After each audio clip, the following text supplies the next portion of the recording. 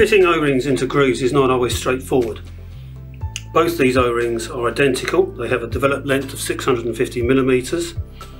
They are made from silver plated aluminium in silicon, so it's an electrically conductive gasket for RFI EMI shielding.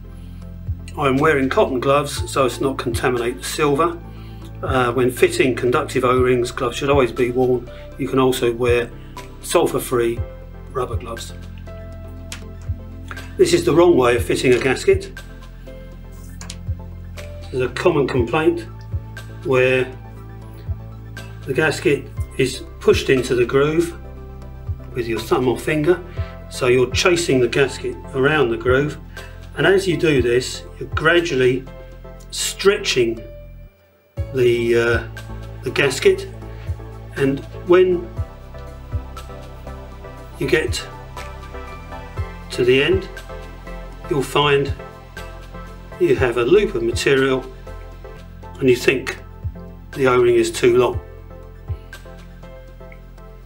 We'll get rid of that one and this is the identical other gasket and the way to fit it is just by gently pressing the gasket into the groove, don't chase it round so the gasket remains relaxed.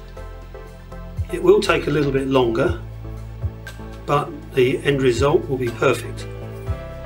So just gently push the gasket in to the groove, don't force it in.